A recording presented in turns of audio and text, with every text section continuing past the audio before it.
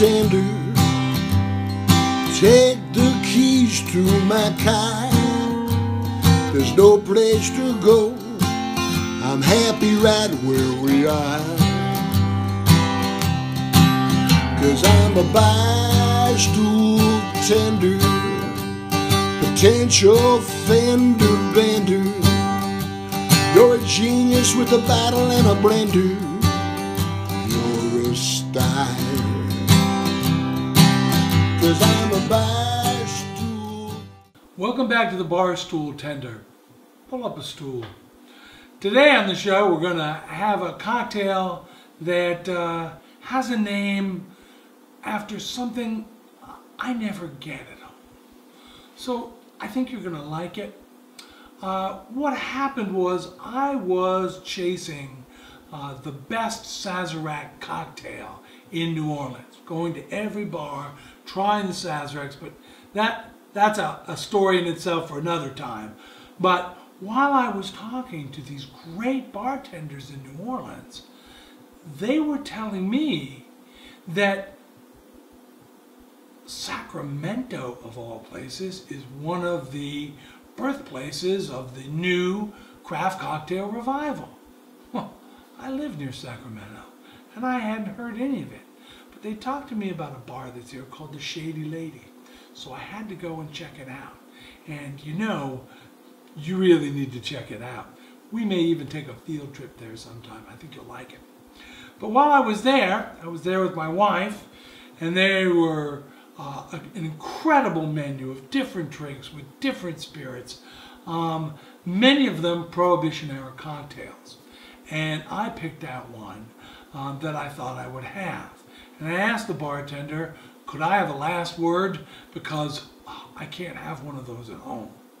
So they brought me a cocktail that was delicious, refreshing, potent, fun to drink, and um, known the world over.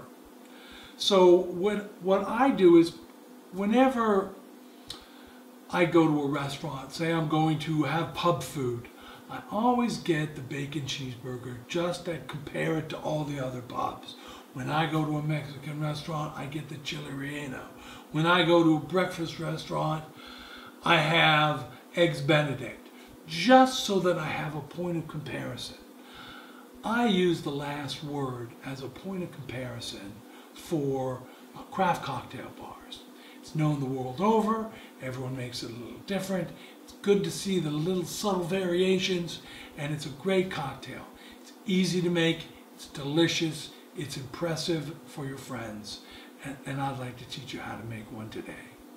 So, the last word was developed in the Prohibition era in Detroit.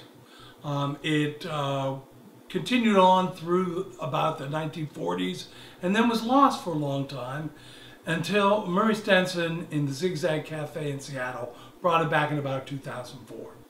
Uh, it's made its way around the world and into cocktail guides and because it's so simple and so delicious. Uh, my wife uses it uh, as her flavor profile when she's doing a dealer's choice at a craft cocktail bar.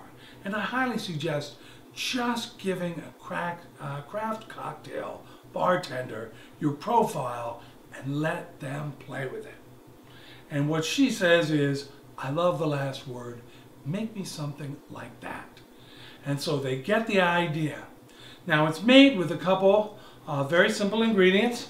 Our lime juice, gin,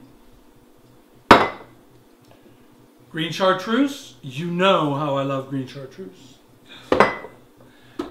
And Luxardo cherry, maraschino cherry liqueur. All wonderful, all simple, all in equal measures. Anybody can make this cocktail, so let's make you one right now. I don't have to tell you that fresh juices are essential. You might want to save a little something as a garnish. That's always nice. But we're going to use fresh lime juice. Very important. Uh, I keep threatening to buy an actual citrus juicer because this is labor intensive, especially if you're having company over and have to make a few of these. All right, so very simple. Lime juice, equal measures. Lime juice,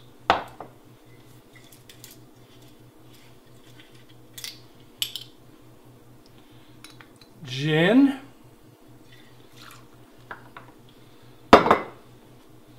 Luxardo,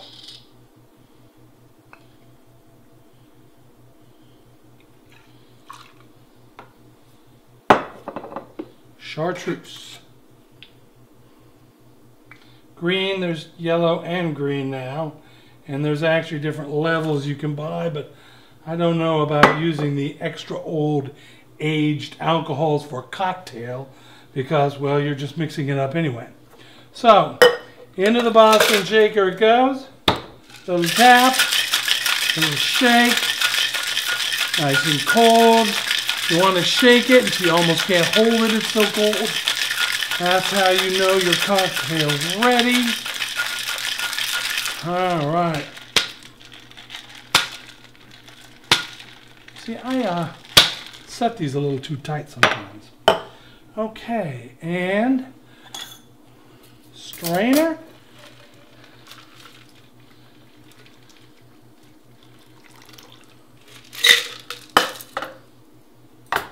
Garnish. There you go.